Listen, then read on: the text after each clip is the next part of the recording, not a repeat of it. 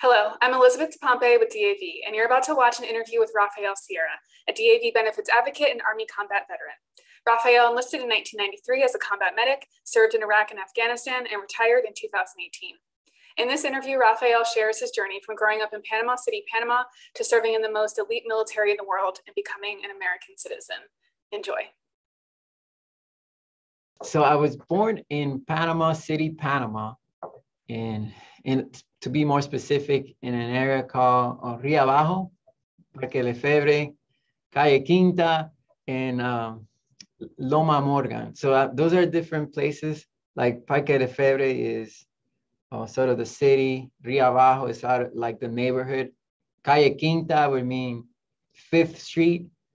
And then um, at the end of Fifth Street, it's it was this long hill, and and it used, it used to be called Loma Morgan and that's where I lived.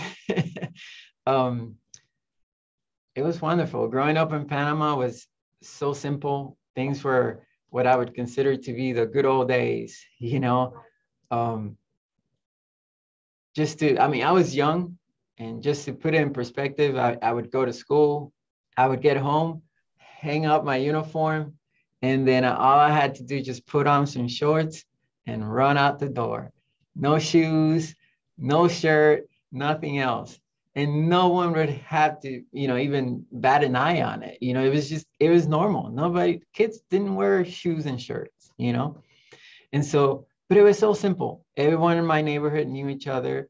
All the parents were like, could have been your aunts or uncles, you know? And and it was great. I really enjoyed living in Panama. I I had a lot of friends in my neighborhood and there's no worries. so, how old were you when you left Panama? Um, and what was that like for you, especially because it sounds like you really loved your community and your home. So, what was that like for you? Devastating. I, I couldn't, I couldn't get over it uh, for like the past. I mean, for the first four years and so, I just kept thinking one day we're gonna go back to Panama. You know, it was sort of a abrupt, abruptly. Um, my parents divorced and in search of a better future, my mom decided to just leave everything behind and move to the US. So we literally sold everything that we could um, and bought suitcases, a suitcase for each person of the family. So my brother, sister, uh, mom, and I each had a, a suitcase and moved to the US um, to go to school so when and, and why did you start to consider serving in the military? How did that happen? Well when i was in high school i was part of um, a program it was called future leaders of america. And what that was is you would go to school uh, for half a day and you would knock out all your core classes. And then and so then after lunch you would actually go to work. You, you, you have a job that was, um, that would, you know, collect all your hours. Uh, they would have to fill out a, like a, a weekly report that you take back to your counselor at school. And, and that was in preparation for you to become, you know, a future leader in America. and so my high school year, I, I was never part of a, you know, like an after school team or anything like that. I was just always working to help uh, provide for the rest of the family. So my my mom worked, my brother worked, my sister, we all worked um, to make ends meet in Miami, pay the bills, and so um, so that was one of my main things. I always I always wanted to provide and help provide for the family. Like I said, I, I grew older and I started understanding that we were gonna stay in the US and this this was our new beginning. And so I wanted a new beginning. And I thought if I joined the military, I could learn a skill that I could use towards that, you know, whatever the future was going to be. And and if I didn't like it, at least I had a skill that I could do and, you know, continue to do whatever that was. And so when I, when I joined the military, uh, my recruiter offered me to be a medic. And, and I remember going back to my mom and asking, you know, what do you think about, you know, being a, a, medic, you know, an EMT? And she thought, hey, you know, that'd be great. If you don't like it, you could get out and you could continue as an EMT, perhaps a paramedic one day. So that was the plan. And if you stayed in the military for, um, I think it was seven or eight years, then you would automatically would become a, a resident. I mean, a citizen. And so when you joined the military, um, I mean, how much was that part of the equation? The idea that you could get citizenship through your service. It, it was it was definitely part of the equation because I knew that a lot of people were not getting that opportunity. Um, I knew that. I mean, you'd see it on like on TV, and you know, a lot of people were being deported and and having to go back to the country that they came from, and and so I knew that this is a a big deal. And, and it was almost like a win-win situation. You know, not only do I get a skill that I learned, and, and by the way, you get, you know, a, a room board, you get meals, you get, I mean, and then you get the recognition of being in the most elite military in the world, you know? I mean, it it was just like, why wouldn't why wouldn't I?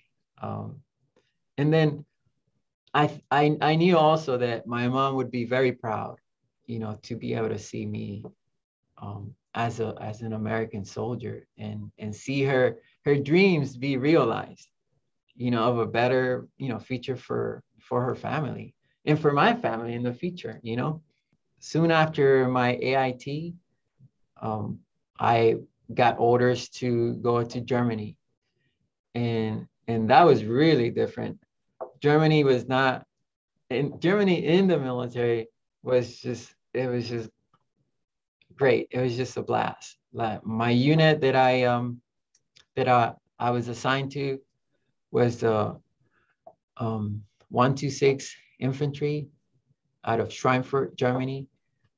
And it was um, it was an infantry unit and we had a medical platoon and I, I'll never forget uh, the day we arrived, the whole medical platoon came to pick me up at the bus station.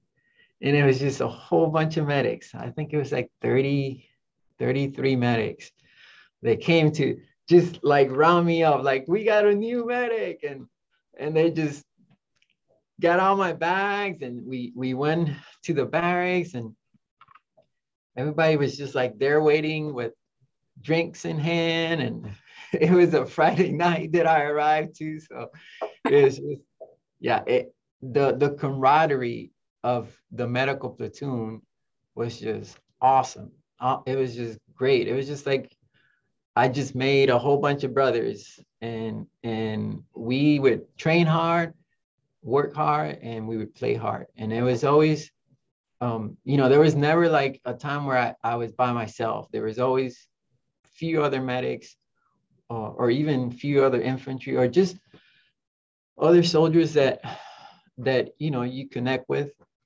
And and that set the motion for me to stay in the army for 24 years because it was always like that you know it everywhere you went you connect with with you know with your staff with your other mos's and there was never a, um, you know you never felt alone. You, you never felt lonely. I just, um, and if and if it wasn't, you would make it that way. And it's so I went from one enlistment to two enlistments to, and it just kept going. Every every enlistment, I just like, oh no, I could do this four more, you know, and and then eventually I met my wife, um, and we we got um, sent to Iraq together, and in Iraq, I it's where I met my 10 year mark and I, I came up for reenlistment. And after the 10 year mark, when you reenlist, you reenlist for an indefinite. It was that was a big deal because now you know that hey, there's no going back, you know. And so, but I was fine. Um, I knew that I wanted to keep doing it, and I knew that um, it'd only be a matter of time till I hit 20 years. What was your time in Iraq like? Iraq, oof. there's there's different there's different feelings about Iraq. Yeah. Um, I was lucky. I was lucky for several reasons. One that my first so my first duty station it was that infantry unit I spoke about. We we were deployed to Macedonia. We were deployed to Bosnia. Uh, later, with um, my second unit in Germany, we were deployed to Kosovo, and so those were all, although they they were not combat uh, environment, there were UN, there were peacekeeping missions, but everything was still very much the same. You know, you were still at a, you know, heightened alert status, right? So, you know, you, are just not strolling around town in civilian clothes, you know, you're still in full uniform, you still have a full load um, of rounds. And so that helped me as a medic prepare to like how to be ready, what to expect, and even some of the some of the injuries that could happen. And so when I went into Iraq, I already had a good idea of what to expect. Um, I mean, I wasn't ready for mortar attacks every day, you know, two or three times a day, but mentally uh, and physically, I already knew what sort of what to expect, and and and not to mention, I was there with Danielle. Danielle was a nurse and I was a medic. We were in the same unit, the 67th Combat Support Hospital. And so at the end of the day, I had somebody to talk to, I had somebody to, you know, convey with, and and I, I didn't feel the stress that other uh, soldiers were feeling. You know, if they were a parent, they had their their kids back home or their spouse back home. And and they were constantly thinking about that. And so at least i knew that you know my better half was right in the same area that i was. Right. And that was easier for me. So that's what i meant about um you know being being a lucky person in iraq. You know hear from some uh, service members and veterans, you know, they might feel this kind of patriotic sense of duty to serve their country, give back to their country. Did you feel that? And, and, and if so, kind of given that you were a resident and not yet a citizen, what did that, I guess, feel like for you? In, in very ma- many ways, um, I felt like the, the US had provided for me and and I still feel the same way. Like I do what I do now as a DAV National Service Officer because I feel like I want to continue to give back um, to the veterans nowadays. So nowadays it's to the veterans. When I was in the army, it was I was there to assist and provide, you know, for that for that combat soldier and, and there's dependents um, but then when I transitioned, I that was like my way of life, and it, it it just changed, and I wasn't prepared to stop it, and so I feel now that I'm working for the DAV as an NSO, National Service Officer, I could still give back to the veterans, help them with their disability compensation claims, with any VA benefits, because it's a complicated world. The VA benefits side of the house, it's very complicated. And a lot of veterans don't understand it. I've been lucky that I understand um, several aspects of it. I understand the, the medical injury part of it, and I'm able to put those together. and being that I've been there and, and done it myself, um, I could truly relate and be compassionate and and put myself in their shoes and just go that extra mile to try to help the veteran out in figuring out their benefits and, and what they need. And not just for them, but for their dependents and for the surviving spouses as well, right? So, and I hope that one day someone will do the same for for my spouse when I pass. So, so at, at what point did you apply for citizenship, or how did that whole process work? That came about automatically. I mean, one day I received a letter in the mail. It's like exactly about eight years out, and it you know it, it it had all the the uh, the what do you call it, U.S. U.S. Um, stamps. You know, I was um where was that? I was stationed in in Fort Meade, Maryland, and I received a letter and it said, "Hey, you have an appointment, you know, to show up this day at this time for your for your you know raising of the right hand." And so, but I, I didn't I didn't have to submit any paperwork or anything. It just the letter showed up, and I'm assuming it was just because you know, I was in the military and it was part of the program or part of the the, the signing up deal. So we're used to such like convoluted bureaucratic processes that it's nice for something to be so automated and actually right. work. That's what I was thinking. You know, people used to say they wait years and they tried and tried and and you know they would never, you know, and one day, and that's why I think it was just because I was uh, still in the military. It was easier for them to just process and say, okay, this individual, you know, he's serving here.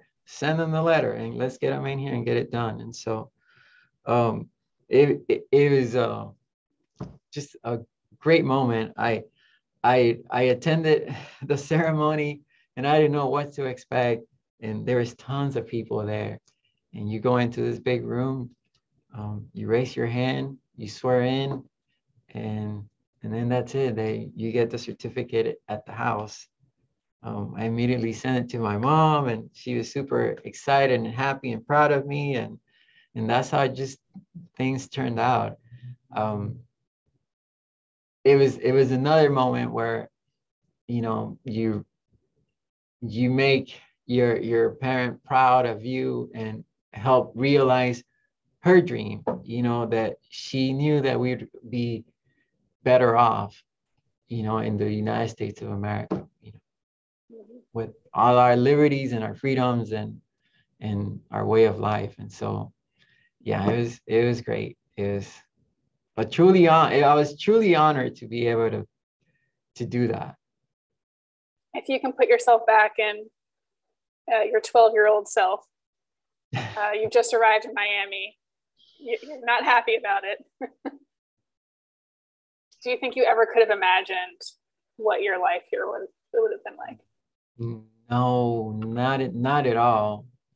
My, you know, I, I, I've shared this with some, some, not too many people, but my dreams, my dream growing up in Panama was I wanted to be a bus driver, and nothing, nothing wrong with being a bus driver but that was like my ultimate dream. That's that's like what I could imagine myself doing for the rest of my life.